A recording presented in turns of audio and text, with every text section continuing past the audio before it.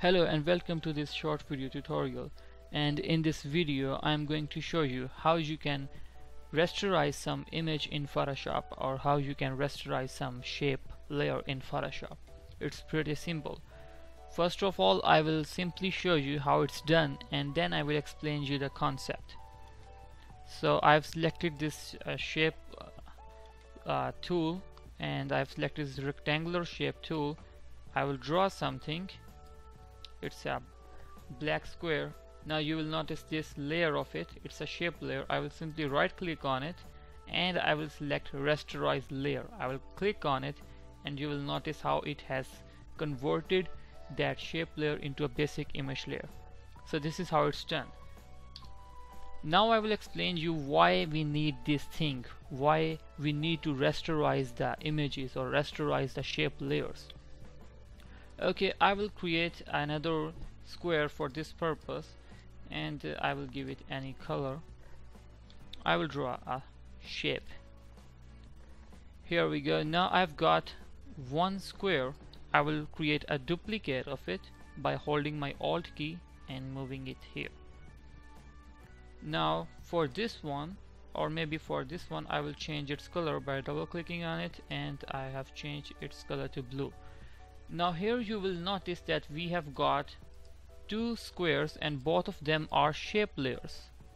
However, now I will convert one of them into a rasterized basic image but before doing that I will show you how these shape layers behave.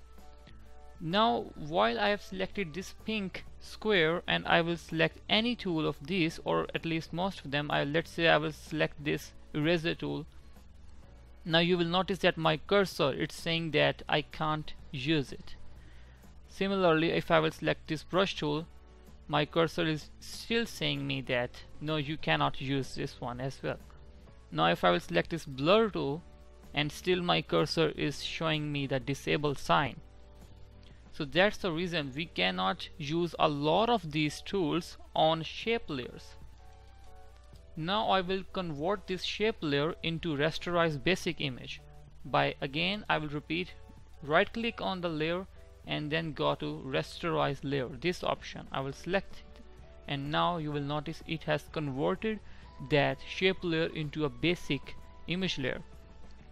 Now when I will select the eraser tool which was not working previously but now you will notice that it is working extremely normal okay?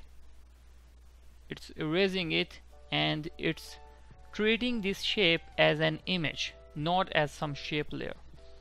So that's the reason why we need to rasterize the images in Photoshop so that we can use these tools on them and uh, we can treat them as an image. So that was a tutorial. I hope it was helpful. Do subscribe and like this video Thank you.